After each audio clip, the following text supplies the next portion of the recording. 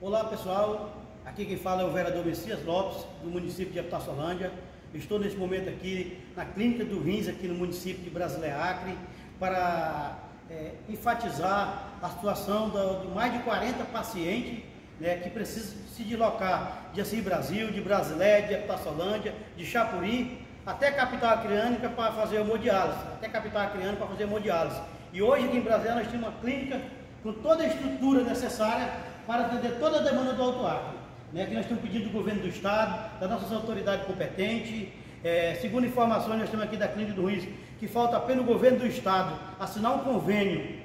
junto, com essa, é, junto à Clínica do Rins para evitar que essas famílias, essas pessoas que já estão doentes, já estão com problema de rins, tenham que se deslocar três vezes por semana para Rio Branco com transporte inadequado, e é um sofrimento total. Então, em nome da população do Alto Acre, como vereador do município que veio pedir ao governo do estado, é como urgência que assine esse convênio, é questão de saúde pública, é questão de ajudar a população do Alto Acre que vem sofrendo por falta dessa clínica que atendeu nossos municípios.